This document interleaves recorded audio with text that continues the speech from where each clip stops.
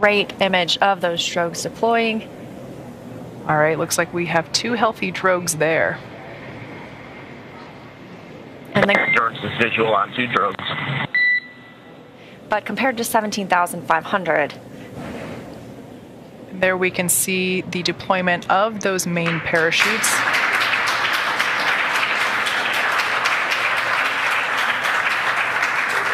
The vehicle's velocity is about 119 miles per hour. Yeah, in SpaceX Dragon, we see four chutes, and we could distinctly feel the two disreefs. It looks like final descent rates. Moments. Yeah. Once again, all right, as you can see there on your screen, Dragon Endurance carrying Endurance, we copy. We see the same and main attack. Crew 3 crew has splashed down in the Gulf of Mexico off the coast of Florida.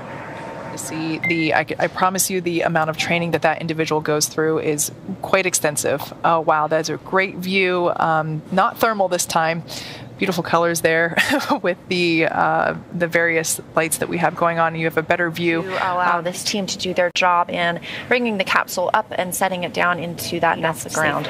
So there's an egress platform that is level with the side hatch. Uh, that way, it makes it easier for us to help the crew members um, out of the capsule.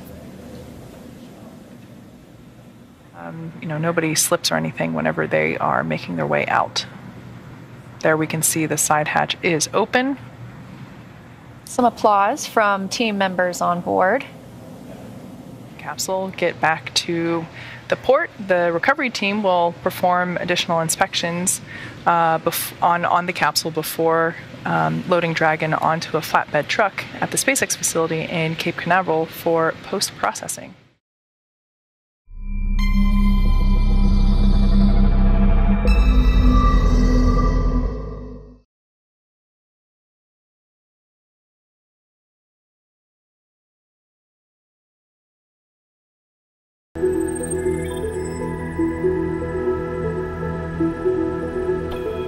Música